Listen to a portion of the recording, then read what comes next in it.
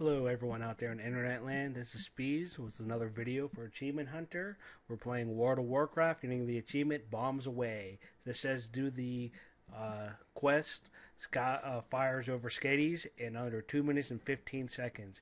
Now to be able to get that quest, you have to do a uh, chain quest that starts in the city of Shattrath. You can only get it at level 70 once you have a flying mount.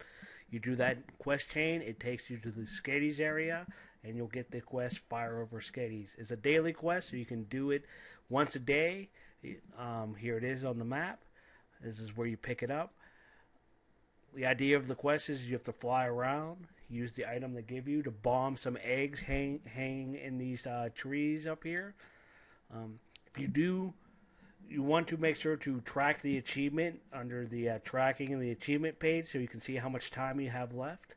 Um, as you can see, after you use the item, it gives you reticule. You just aim where you want it to go, and you have a little cast time. Don't move out of range after you uh, start casting, or that could be bad. You might move out of range, and you don't want that to happen.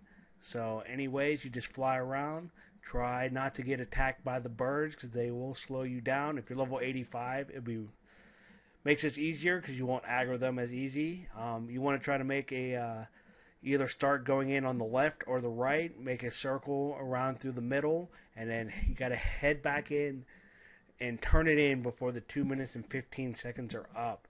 Makes it kind of tough here. So, and there we are. And I thank everyone out there for watching, and we'll see you next time.